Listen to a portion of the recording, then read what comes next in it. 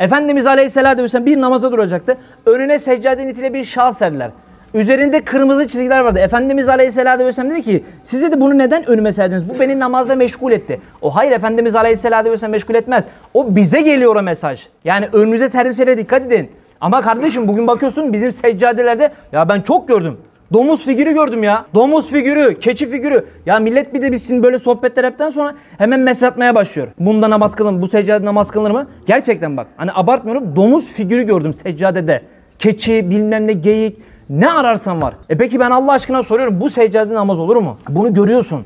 Efendimiz Aleyhisselatü Vesselam iki tane kırmızı çizgi gördü de bunu önüme sermeyin dedi. E bugün Allah aşkına bak bu size benden bir vasiyet olsun. Evinize gidin seccadeleri kontrol ettirin. Varsa böyle bir kazıma imkanınız varsa kazıyın orayı. Yani seccade atmayın atılmaz.